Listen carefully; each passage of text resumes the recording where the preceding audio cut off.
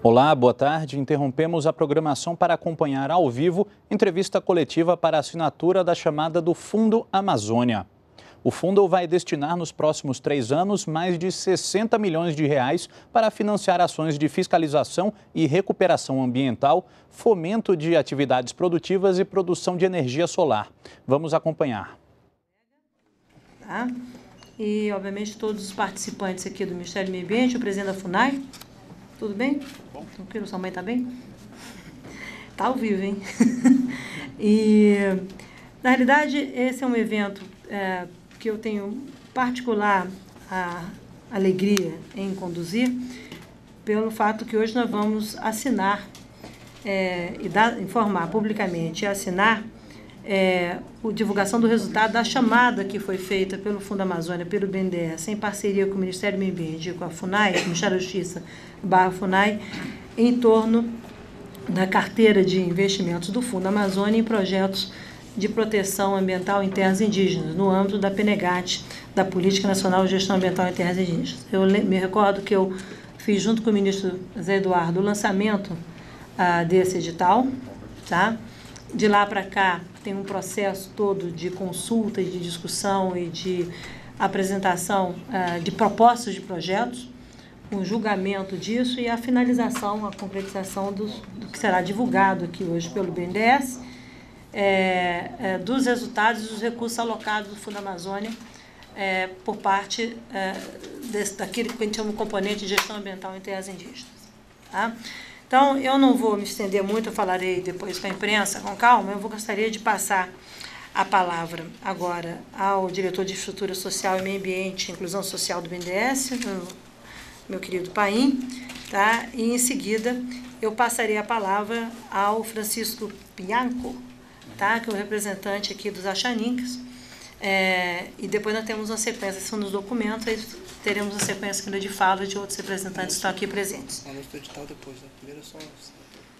É, você vai... Nós vamos assinar, depois a gente anuncia o edital, os resultados, tá bom? Tá. É, e eu faço, depois nós teremos mais três pessoas falando e em seguida eu faço o encerramento, tá bem? Então vai. Certo. Bom, é, boa tarde a todos. Eu queria cumprimentar aqui a ministra Isabela Teixeira, cumprimentar aqui o Marivaldo, amigo, o secretário executivo do Ministério da Justiça, o, o Flávio Azevedo, presidente da FUNAI, a nossa embaixadora Marie, cumprimentar aqui os, a equipe toda do Ministério do Meio Ambiente, cumprimentar em especial o Francisco Pianco, né, da Associação Achaninca, e dizer que é, existe uma identidade muito forte entre o Fundo Amazônia é, e os povos indígenas. Né? Nós podemos dizer que, é, sem considerar esse edital que vai ser, o resultado desse edital que vai ser chamado a público, que vai ser anunciado agora pela ministra Isabela, nós já temos 20% dos projetos apoiados voltados para a questão indígena. Né? São 88 milhões de reais que estão sendo alocados e, sem dúvida alguma, é, dentro desse objetivo né, maior do Fundo da Amazônia de preservação, é, existe é, uma estratégia muito correta, que é exatamente o apoio aos povos indígenas para que eles possam fortalecer e, sem dúvida alguma, serem as pessoas que vão proteger, proteger a floresta amazônica. Então, é, sem dúvida alguma, nós conseguimos ganhar muito em efetividade nessa estratégia do Fundo Amazônia com a participação eh, dos povos indígenas nesse processo. Eh, e essa chamada, o resultado desse, dessa chamada pública tem também um elemento importante, que é exatamente o fato de eh, re, resultar numa nova etapa do Fundo Amazônia na aprovação dos projetos dos povos indígenas, porque existe um alinhamento maior entre o BNDES Ministério do Meio Ambiente, é, Ministério da Justiça, FUNAI e o COIAB, né, porque todo o processo ele foi feito de forma participativa, é, desde a elaboração da chamada pública até a seleção dos projetos. Então isso é muito importante, porque, sem dúvida alguma dá uma perspectiva maior de efetividade em relação a esses projetos.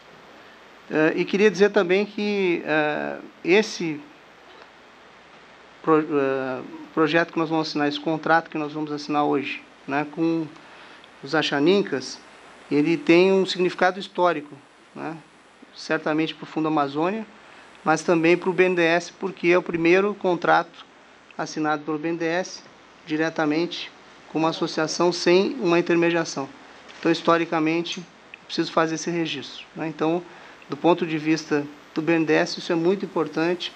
E eu queria dizer mais uma vez que a parceria entre BNDES e uh, o Ministério do Meio Ambiente, do Fundo Amazônia, tem que se estreitar, continuar é, avançando e dizer também do apoio né, do governo da Noruega, que é o nosso maior doador. Eu tive recentemente agora lá em, em Oslo, né, acabei de, de chegar de viagem hoje de manhã, e sem dúvida alguma nós percebemos o quanto eles observam esse conjunto de projetos a partir da doação que eles estão fazendo.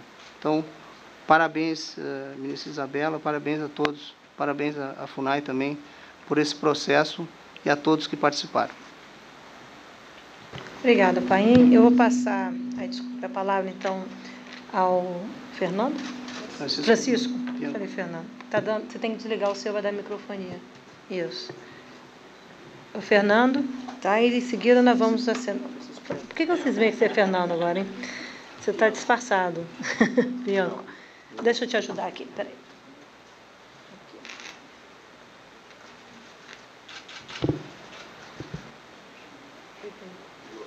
Ligou? Alô? Vai com o meu, vai. Ah, ligou. Ligou? Pronto.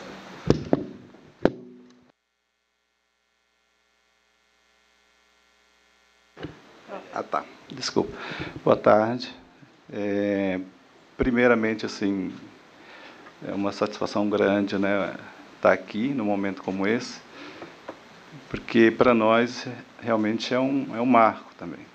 Nós estamos discutindo é, a gestão territorial há muito tempo e o povo xerinca, é, a gente vive no Acre, é, bem na fronteira com o Peru, e a gente vive né, ali uma, é uma luta cotidiana né, para proteger as florestas, proteger, sustentar a nossa identidade, os nossos conhecimentos e tomar essa decisão internamente de apresentar uma proposta, né, pleitear recursos do Fundo Amazônia para fortalecer o nosso trabalho foi uma decisão que discutimos bastante internamente.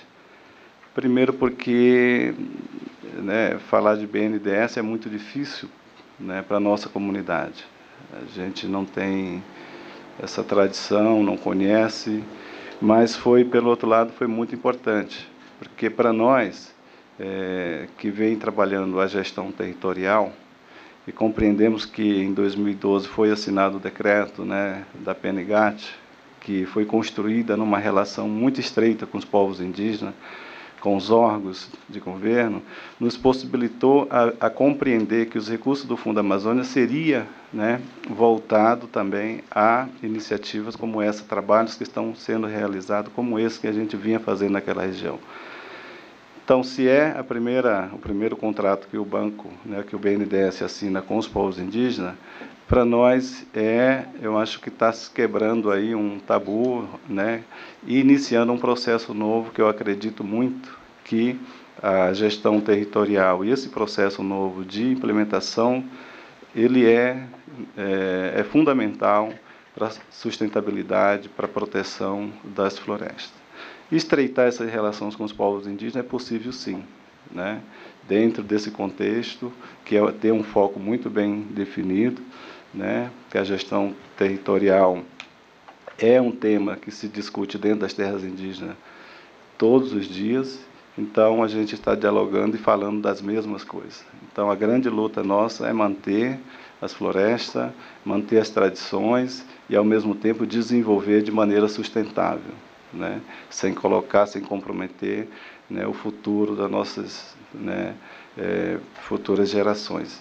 Então, a gente queria só agradecer bastante e dizer de que esse é o momento que acreditamos muito que os povos indígenas pode ter serem fortalecidos e poder né, ter a, as suas contribuições que tem já dado até hoje, né, eles se, tornarem mais fortalecidos ainda para que a gente possa é, é, ter uma, é, uma Amazônia sustentável. Muito obrigado.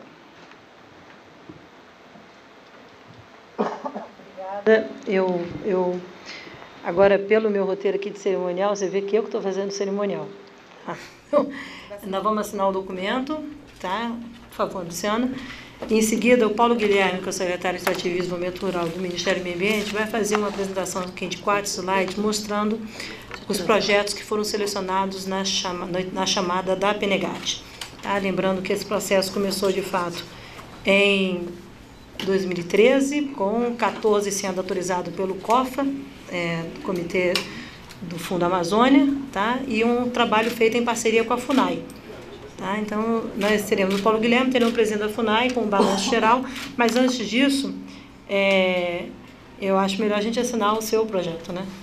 né? Você vai ficar muito nervoso, não é isso? Então, quem é agora? Sou eu e você? Então, eu assino aqui. Ok. Aqui, vem. E aqui, tá? O primeiro contrato de concessão é, entre o BNDES e a Associação Xaninca no Rio Amônia. Parabéns, boa sorte e eu vou cobrar os resultados, tá bom?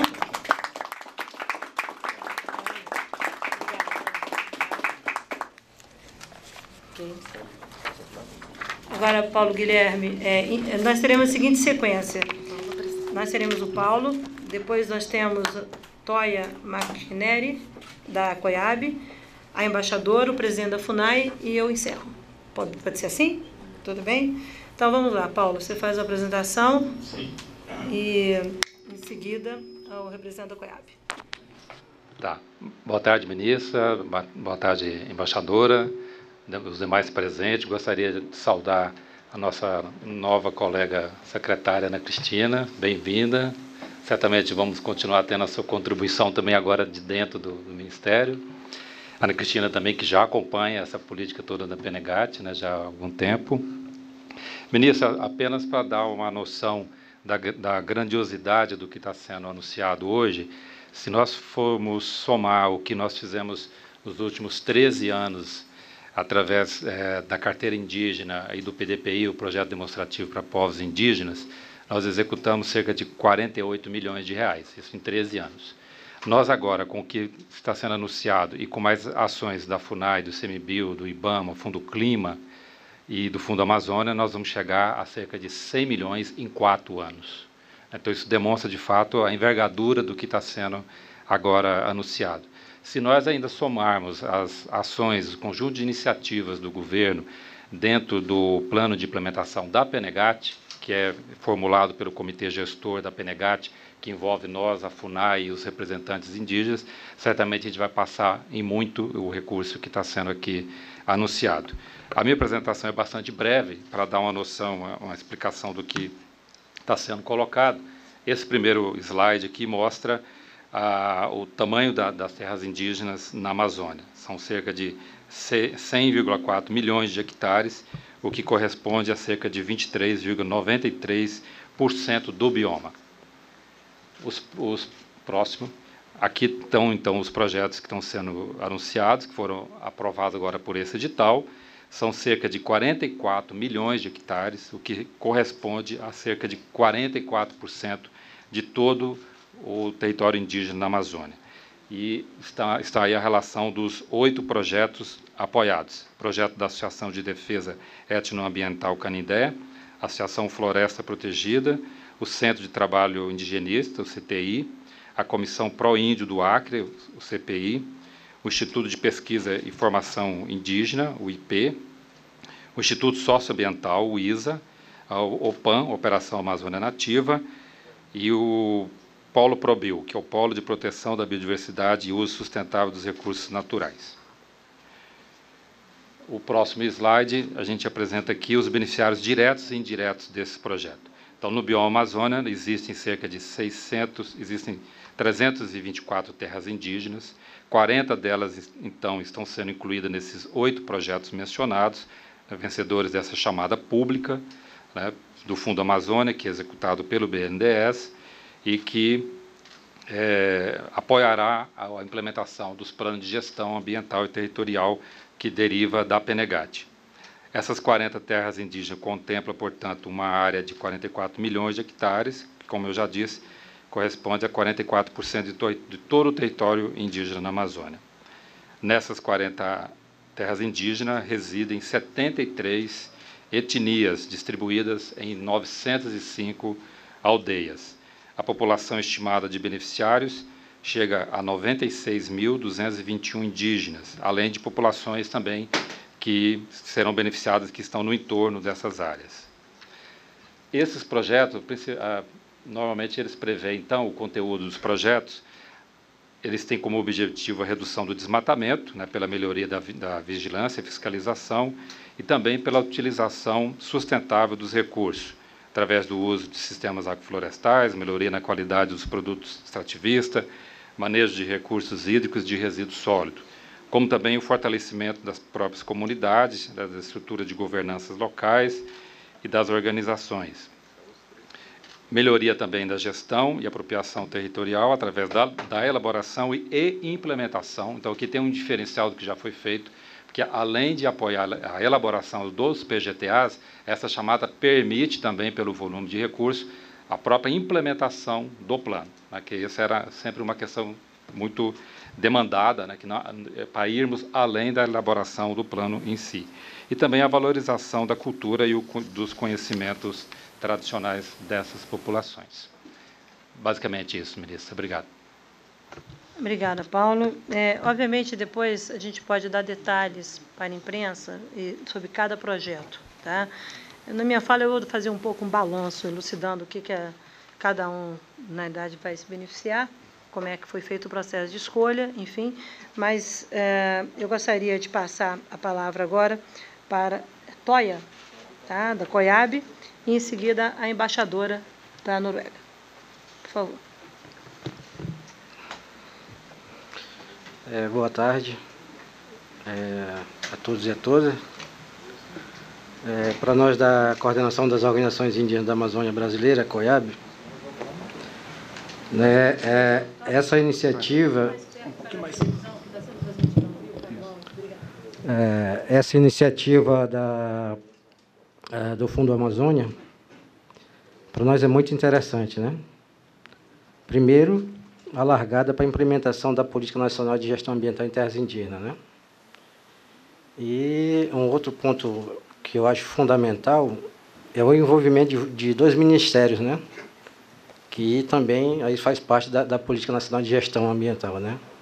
Que é o entrosamento dos ministérios para que é, a gente venha é, implementar a Política Nacional de Gestão Ambiental em Terras Indígenas. Né?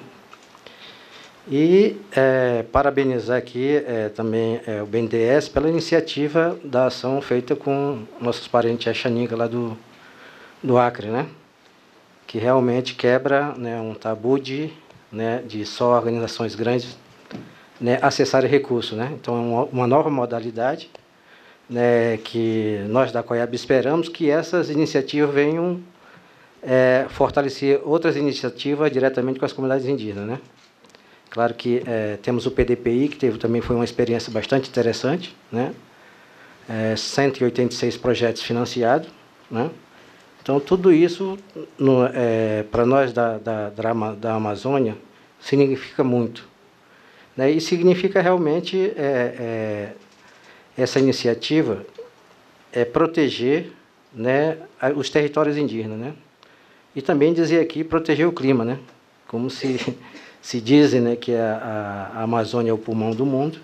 Então essa iniciativa de, de atingir 100, é, 100 milhões de, de, de, né, de reais, 44% né, da, dos territórios indígenas, isso beneficia também não só a, a, a nossas terras indígenas, não só o Brasil, como também é, o globo, né? Com relação às mudanças climáticas, né? também, a gente também pega nessa questão, né? Então, são iniciativas que vêm fortalecer né, todo uh, um trabalho na área ambiental, né?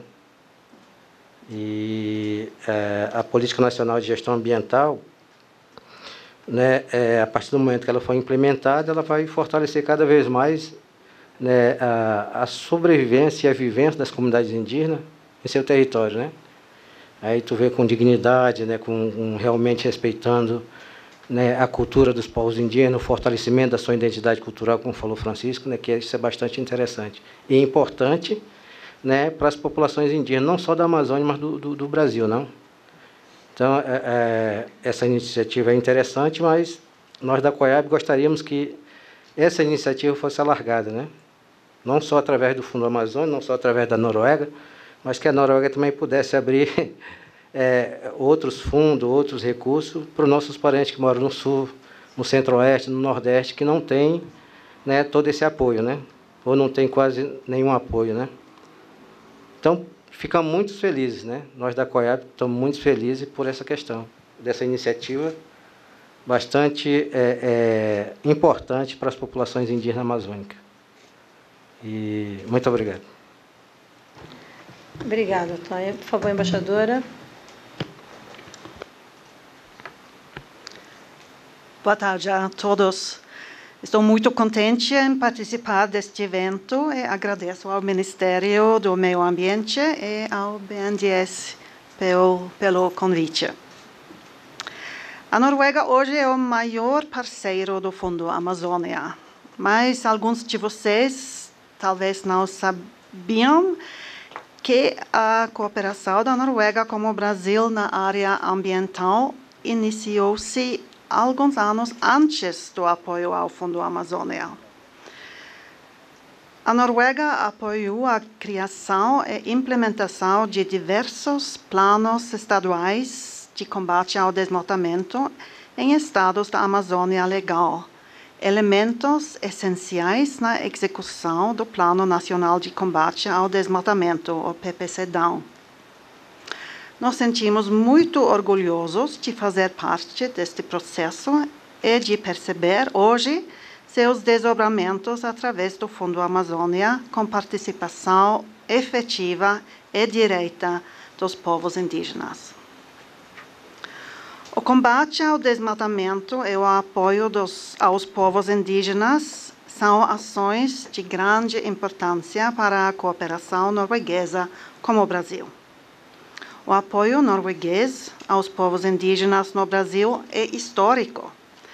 Este ano completamos 32 anos de cooperação.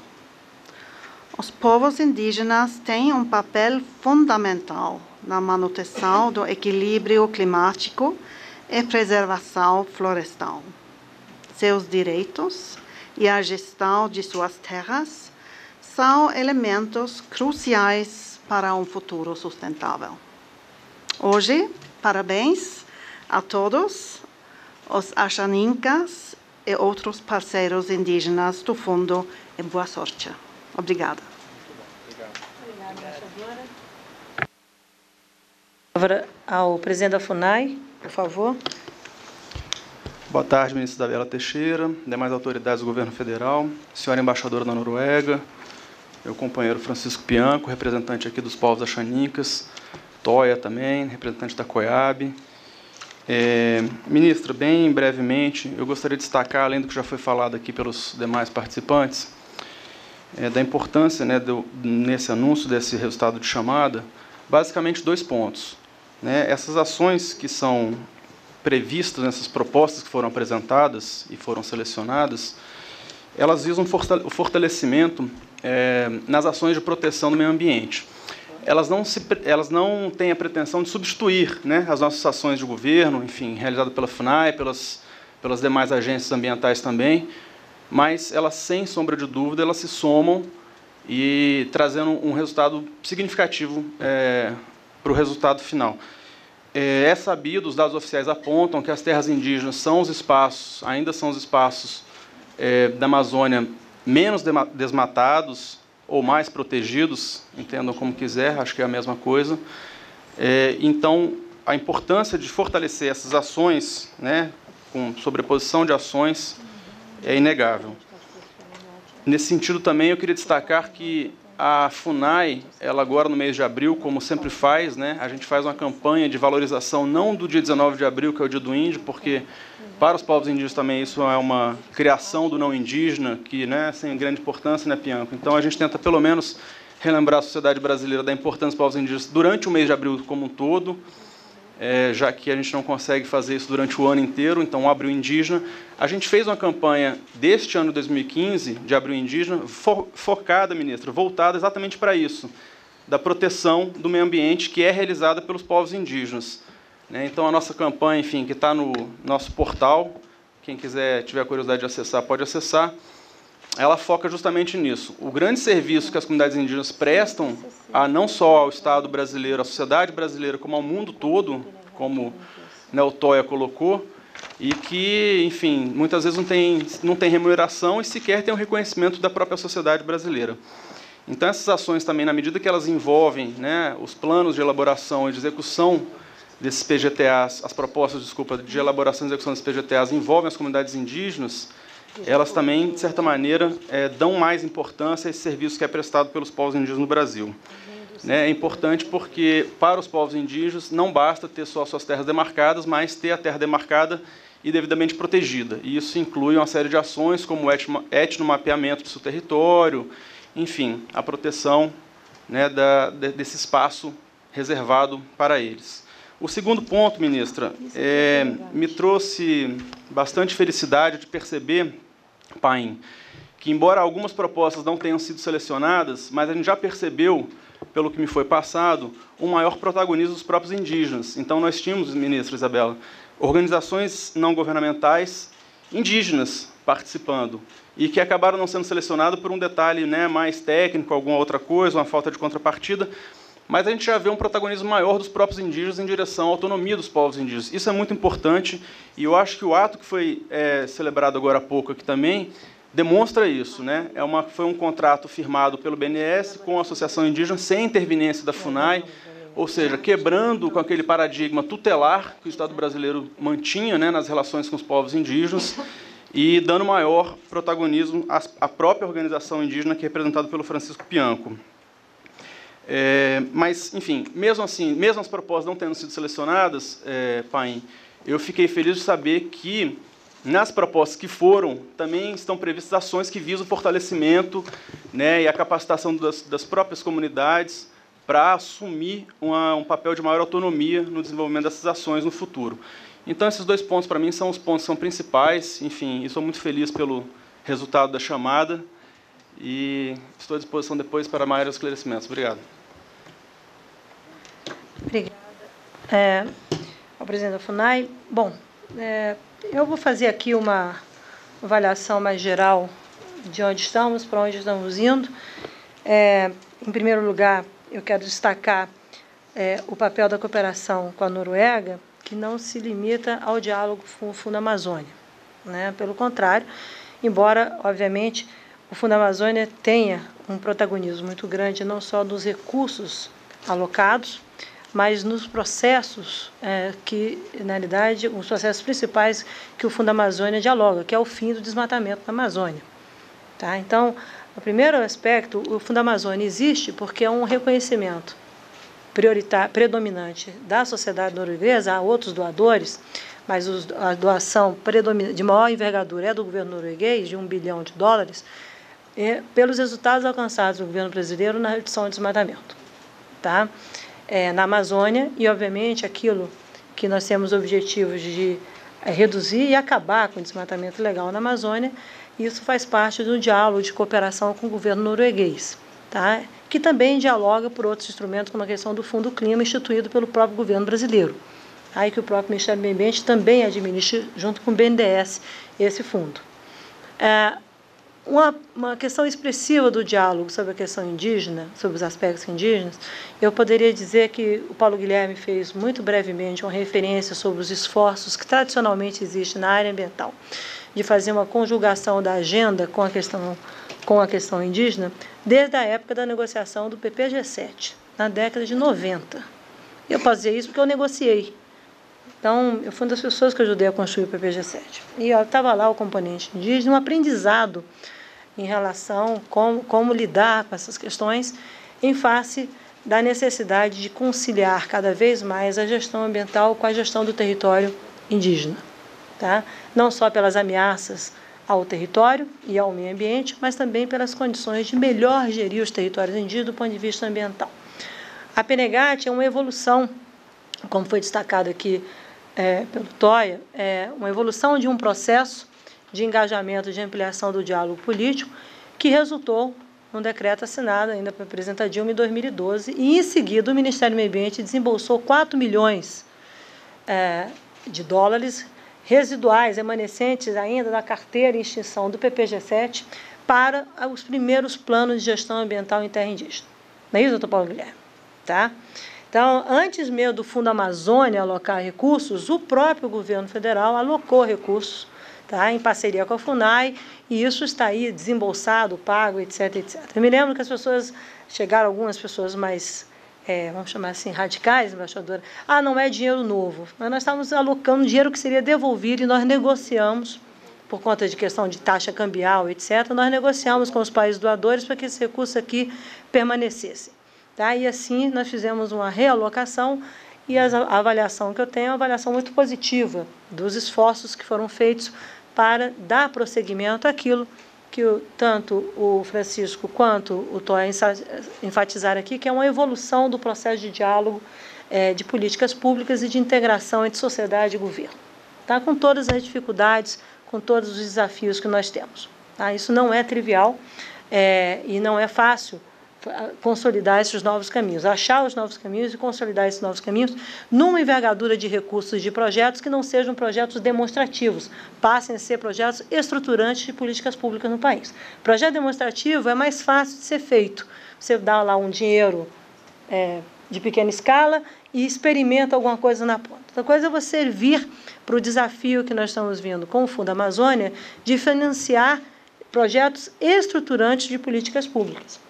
Tá? E daí um pouco as falas que for, nós ouvimos aqui do desafio e do, da, da boa iniciativa que começa com os achaninkas de assinarem diretamente um contrato, tá? sem intermediários, estou usando aqui a, a fala do, do diretor do BNDES, como também nos, entre os projetos, oito projetos eleitos, nós temos uma que foram identificados, uma associação indígena que vai, que foi selecionada também à semelhança de Achanim para receber esse dinheiro.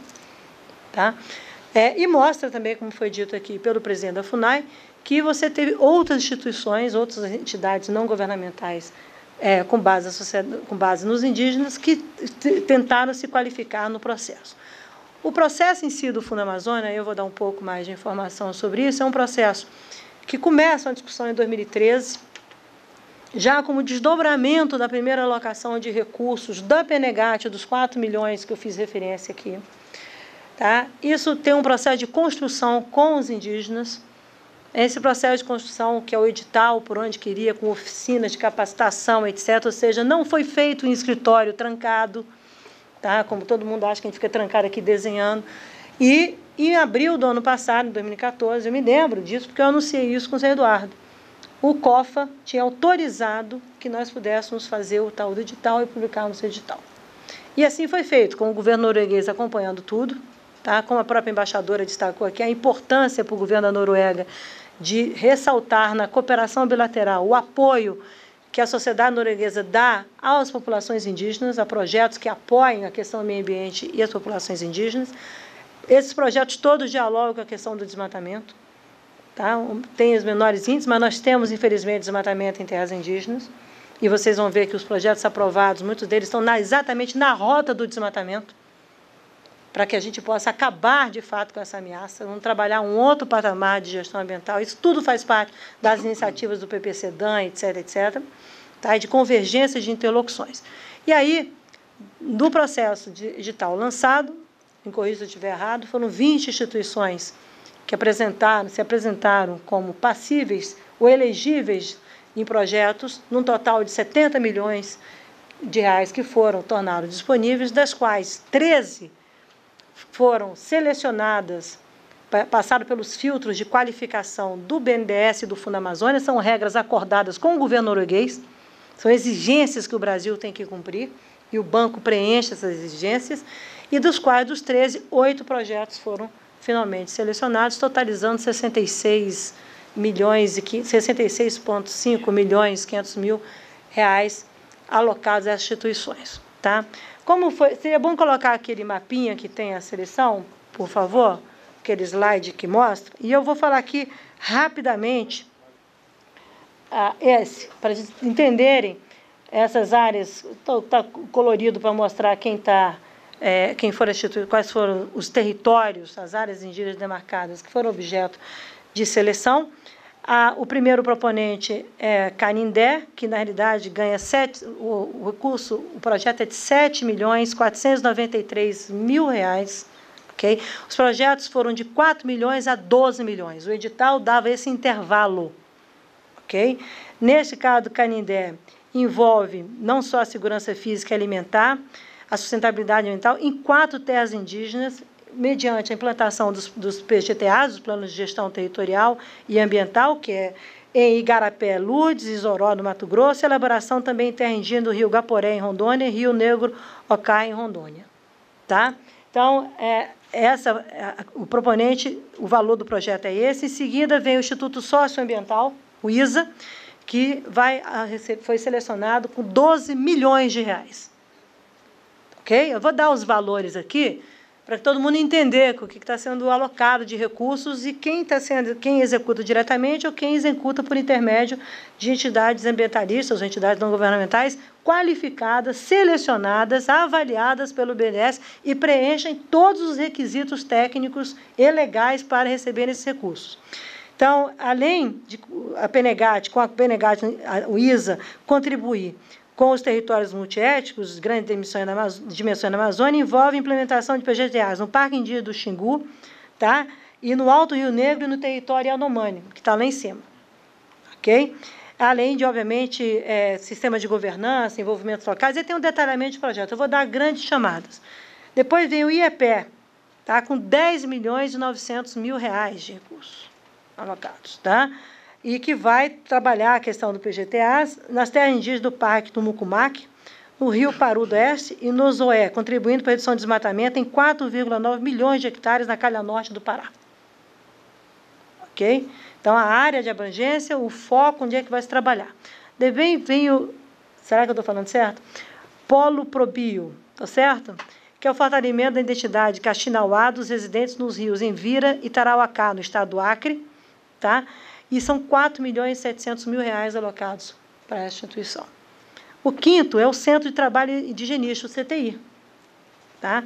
que vai trabalhar as três terras indígenas do TI do Vale do Jari, do Cricate e TI Governador, e a elaboração de PGTA entendido de Andira, Andirá Maraú e Nova Jacundá. São 11 milhões 995 mil reais alocados. Tá? Depois vem o pessoal do OPAN, a Operação Amazônia Nativa, com 8 milhões e 160 mil reais, trabalhando os povos indígenas Monoqui, Miqui, Nambiquara, no Rio Juruena, tá? e o povo Chavante na bacia do Rio Araguaia. E a Comissão Proíndio do Acre, também de CPI, com mais 4 milhões e 482 mil reais, tá? trabalhando é, questão de resíduos sólidos, acesso à água potável é, em territórios indígenas, que estão todos listados aqui, que é um bando. E aí eu, vai ser, ficar falando aqui vai ser complicado. E, por fim, a Fundação Floresta Protegida, que é outra associação indígena. É a segunda. Tá? Com 6 milhões e 993 mil reais de recursos, trabalhando o fortalecimento das comunidades Caiapó. Tá? Então, esses são os projetos apoiados, totalizando 66,5 milhões de reais que foram objeto de seleção nesse edital. Tá?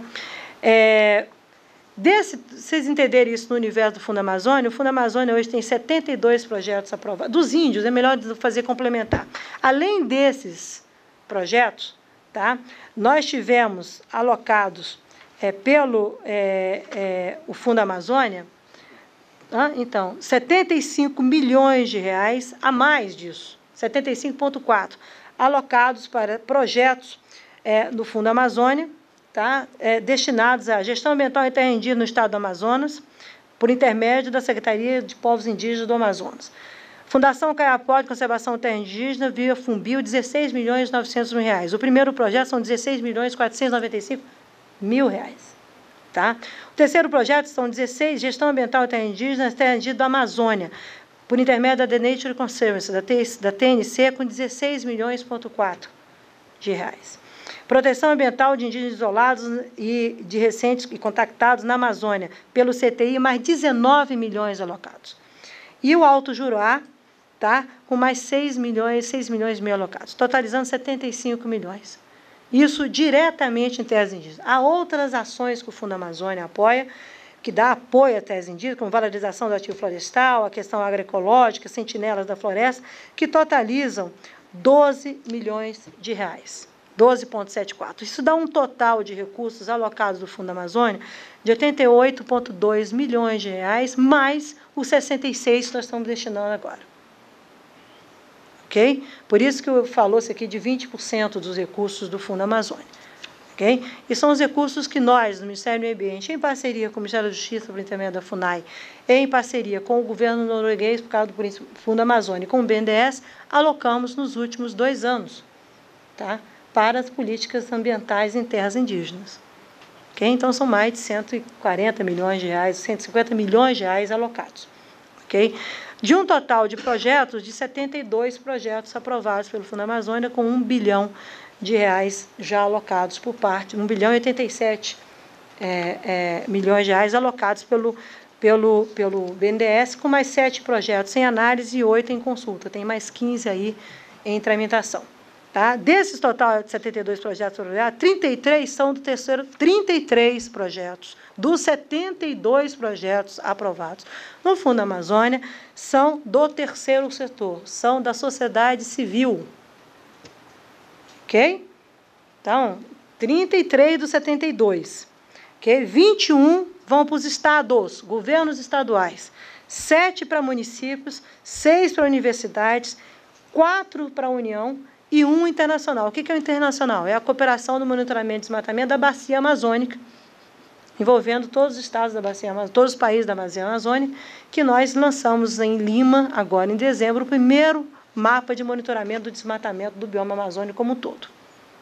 Tá? Então, a maior parte dos recursos alocados do Fundo Amazônia vão para o terceiro setor. Okay? Para as entidades ambientalistas, entidades não ambientalistas, não governamentais, sociais, socioambientais e indígenas. Tá? Que é um balanço importante ser feito em relação à alocação de recursos, a destinação de recursos, obviamente com projetos que vão desde a conservação, com criação de unidade de conservação, o programa Áreas Protegidas da Amazônia, na sua terceira fase, tem recursos alocados para isso, como ações relacionadas à questão do desmatamento, do monitoramento do desmatamento e ações relacionadas às questões indígenas que também dialogam com o combate ao desmatamento. Então, esse é um balanço é, geral que eu acho importante de é, a gente sempre lembrar e dizer que é, nós estamos também, eu acho que a gente pode falar isso, é, a embaixadora me visitou recentemente e o governo norueguês é, estabelece, sim, como o pai acabou de chegar, é, um novo diálogo com o governo brasileiro em torno de uma possível segunda fase do Fundo Amazônia. ok? É óbvio que nós temos que evoluir nessas negociações, não, isso não é trivial de ser feito, tá? mas é óbvio também que, no que depender do Ministério do Meio Ambiente do governo brasileiro, nós continuaremos é, fortalecer a linha de diálogo e de projetos envolvendo a agenda socioambiental, as populações tradicionais e os povos indígenas. Quer dizer, nós temos a firme convicção de que também é por intermédio desses atores que se combate o desmatamento e que a gente pode chegar ao desmatamento zero o desmatamento líquido zero na Amazônia, como é o desejo de toda a sociedade brasileira. Tá? Tem muito trabalho pela frente, né, mas eu tenho certeza que é, tanto o Francisco como Toya vão nos apresentar bons resultados, porque eu vou fazer essas reuniões agora mostrando também os resultados dos projetos de vocês, para que as pessoas, o Brasil e o mundo conheçam o que, que as populações indígenas, as organizações tradicionais podem e devem fazer em cooperação com, com, com as políticas públicas, no âmbito de políticas com cooperação com o governo, de resultados para que a gente tenha o, o desenvolvimento sustentável em prática real, tá? e que isso seja visível. Então, é, eu estou particularmente é, muito feliz por ter tido a chance de lá fora, lá atrás, mandar fazer, ter concluído a Penegate, a presidenta ter assinado o decreto, depois ter feito o remanejamento do dinheiro do PPG-7, para dar uma, um primeiro, uma, primeiro, uma primeira partida, a negociação que envolveu o COFA, que não foi trivial, as mudanças no Fundo Amazônia, o edital, né, ter anunciado, e aí, Marival, diga ao, ao Zé Eduardo que a gente cumpriu o que a gente prometeu. Estão aí os recursos, estão aí os projetos, e eu espero que uma nova fase é, de implementação e de relação de bons resultados na questão da agenda socioambiental com as terras indígenas, com as populações indígenas do nosso país. No que diz respeito, Toia, ao resto do Brasil, eu estarei tentando procurar ajudar vocês. Tá? Eu não tenho competência direta com os índios, tá? mas aquilo que o Ministério do Meio Ambiente puder fazer de articulação, de interlocução, de diálogo, de cooperação internacional, nós faremos. Não temos nenhum problema de fazê-lo. Tá? Mas, enfim, eu acho que é um dia, Pai, eu quero lhe agradecer ao Luciano, sei que hoje ele está no Rio, mas eu sei que não foi fácil. E o Guilherme, que é o seu antecessor, também foi uma pessoa muito dedicada, Guilherme Lacerda, em nós viabilizarmos essa nova situação e viabilizarmos aí com todo o processo escolhido por eles, de participação, de construção conjunta, de oficinas, uma a uma, para que a gente pudesse chegar um ano depois com os projetos alocados e os dinheiros alocados, os projetos selecionados.